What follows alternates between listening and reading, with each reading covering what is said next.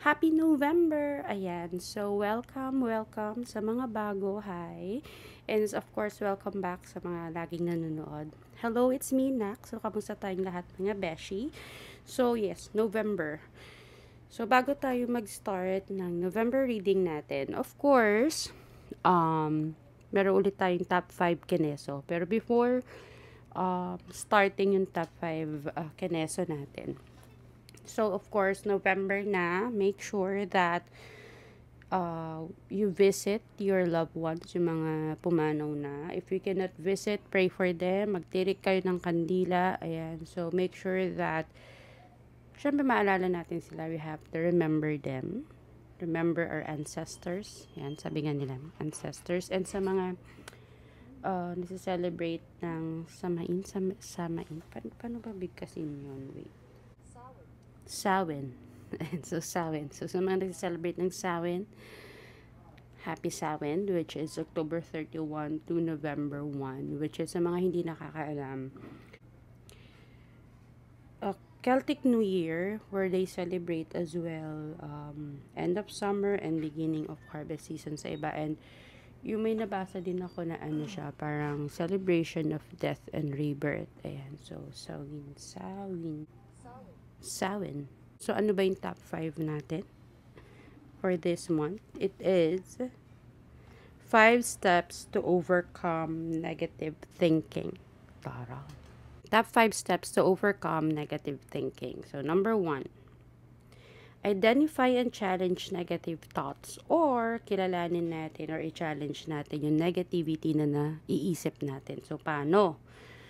So, syempre, alam naman na natin na feeling natin mali yung naiisip natin, di ba? Negative na. So, na-identify mo na siya. So, na-identify mo na. So, ngayon, tatanungin mo ngayon sarili mo, um, totoo ba to or assumption lang? Totoo ba to or iniisip ko lang na mali yung thoughts ko or mali yung feeling ko, ganyan. And, dahil doon, of course, may isip mo na, kung mali yung nasa isip mo, at least mawawala na siya agad, diba? Or pag sa tingin mo is tama, then you have to work on it. So, yun na yun. So, kapag feeling mo, ano, isipin mo na kung ano ba dapat yung gagawin mo, ano ba dapat yung steps na dapat mong um, gawin in that way, mawala na yung negative thought na yun. Number two, Replace negativity with positive affirmations or palitan ng positibong affirmations yung mga naiisip mong mali. So, gumawa ka ng list ng mga affirmations mo, mga positive affirmations mo pagka may pumapasok, kunyari, um, negative thought na, ay nako, uh, mag-birthday na si Eme, wala pa akong pera, ganyan, di ba? Kunyari yung, ano, ngayon, magsusulat ka ngayon ng positive affirmation na, uh, I am happy, I am positive, uh, magagawan, uh, mayroong paraan, may, ay, magkakaroon ako ng pera this week, magkakaroon ako ng panggastos this week, mga ganyang bagay. So, dapat um, i-boost mo lang yung statement na mali. Palitan mo siya ng same pa din, pero more on a positive side. Number three, practice daily gratitude or magsanay or masan, masanay dapat tayo na ano na meron tayong daily gratitude. Actually, ito yung pinakamadali kasi just be grateful. Maging grateful ka lang na bumangon ka today, 'di ba? Saya na 'yun. And then of course, mag-focus ka. Ito nga yung sa daily gratitude is mag-focus ka sa mga bagay-bagay na natatanggap mo everyday. Yun nga, na gumigising ka, na may nakakain ka, na nakakatulog ka. Those simple um, things to be grateful for. Sobrang ano na yun, di ba? And kunyari, ano, um, pinansin ka ng jowa mo, sweet yung jowa mo sa'yo. O, di ba? Be grateful na, na at least pinansin ka. Number four, surround yourself with positivity or palibutan mo yung sarili mo ng positive, positive vibes. Ayan siya. And, kunyari, alam mo yung, ano, sinasabi nila na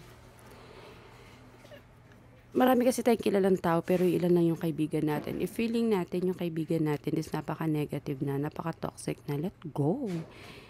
Yung kunyari yung kamag-anak mo, masyado ng negative, let go. Wag yung, di ba? Don't let them tolerate yung mga bagay-bagay na hindi naman dapat, yung mga pangit. So, don't tolerate them. Ayun.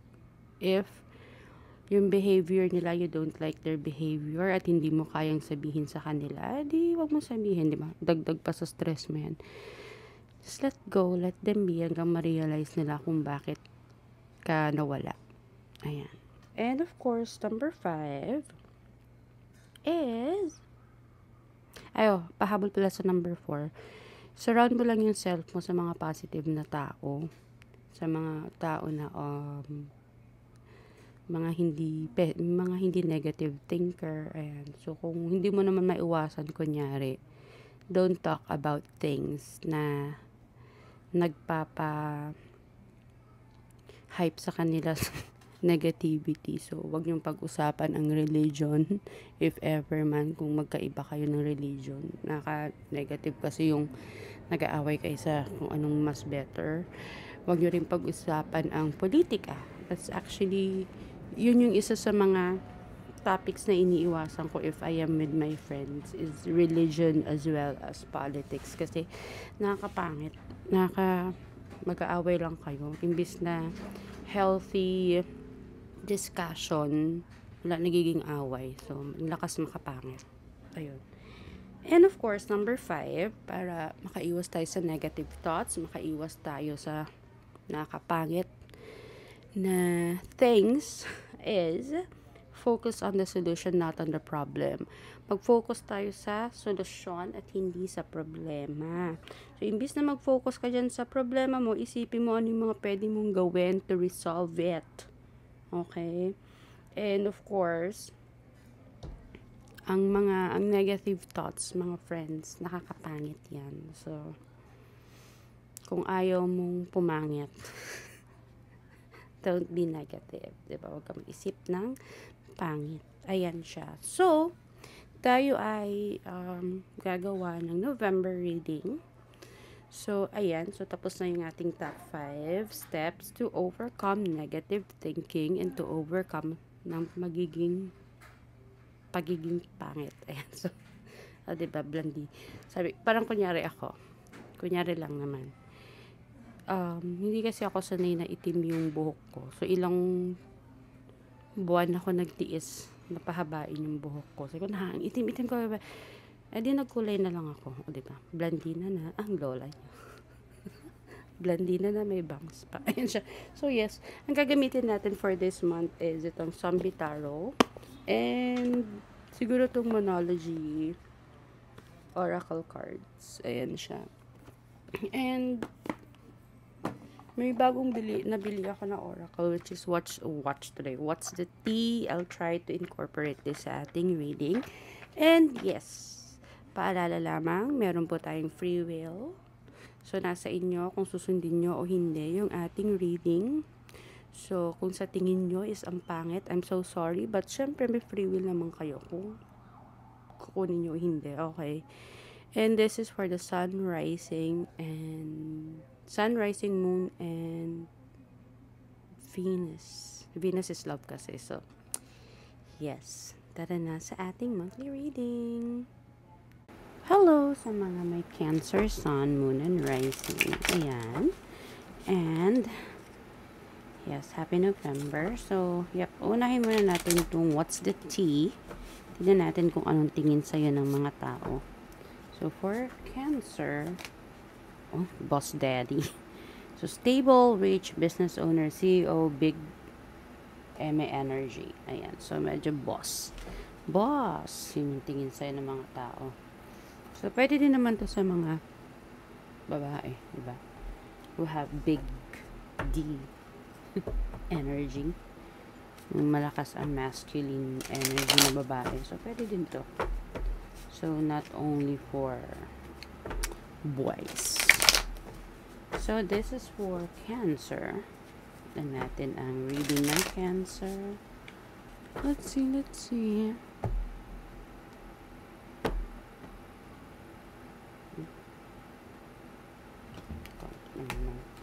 Ay, magpakuha ng card. Sorry. Okay, tignan natin ang inyong reading. Mm. Okay.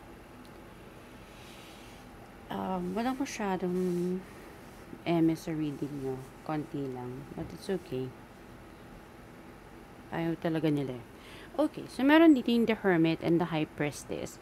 Uh, meron, siguro this is the time na medyo nagpapahinga ka, you're doing, hindi naman yung pahinga na pahinga, pero siguro there are things na you're normally doing before.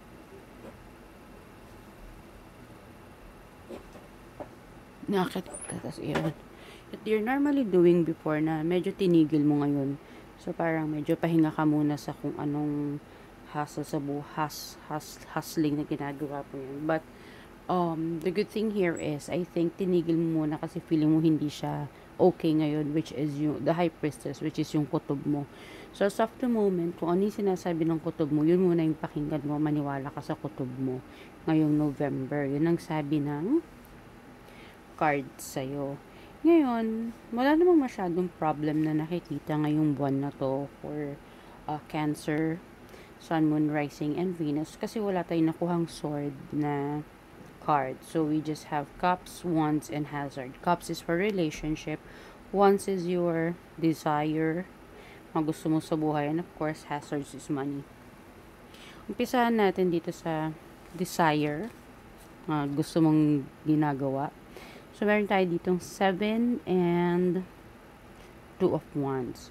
So, sinasabi kasi dito sa 7, mag-ingat ka, check um, yourself sa mga tao sa paligid mo. Kasi pwedeng may mga tao sa paligid mo na sinasabi nila na um, alam yung kontra sa'yo, ang dami nilang negative na sinasabi sa'yo na hindi mo yan kaya kasi ganito, ganyan, ganito, ganyan. Huwag mo silang intindihin, pakinggan mo kung ano yung nararamdaman mo, kung ano yung kutob mo, doon ka maniwala, and make and protect yourself. Always protect yourself, uh, Cancer.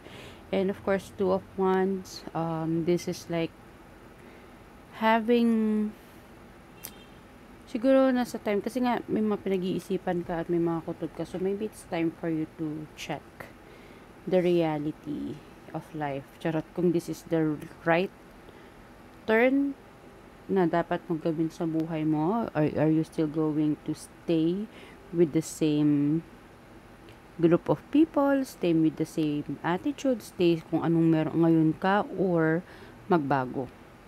Pwede kang magbago, ba? Relationship, I'm so sorry, it's kinda leaving and crying. Ay, nako.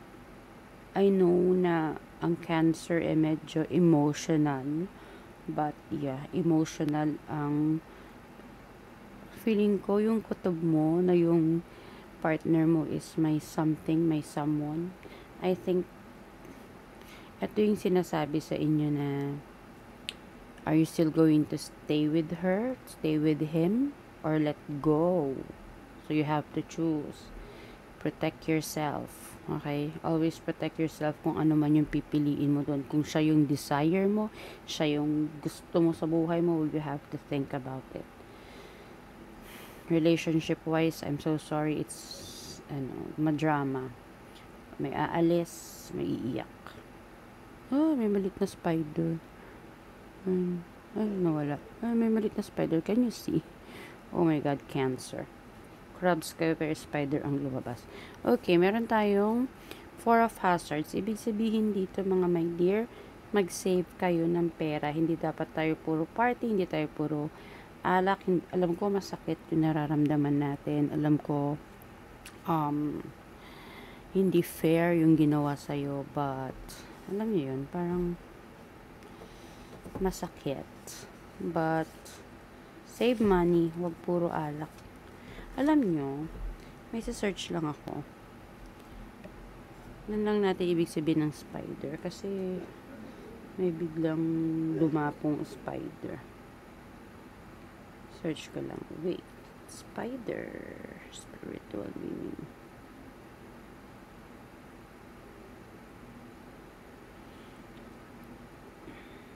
Ayun, maging patient lang daw tayo. Sa kung anong nangyayari sa buhay natin. And this is actually a good fortune and luck as well. Sabi da sa sabi ng Google, hindi ko naman sure, pero malay mo if you choose the correct path, if you leave that person be. Hindi ako fan ng hiwalayan, no.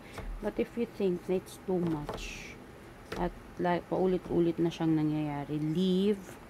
Gusto niyang umalis, saya mo umalis. Huwag mo nang uh, what you call this, wag mo nang pabalikin pa.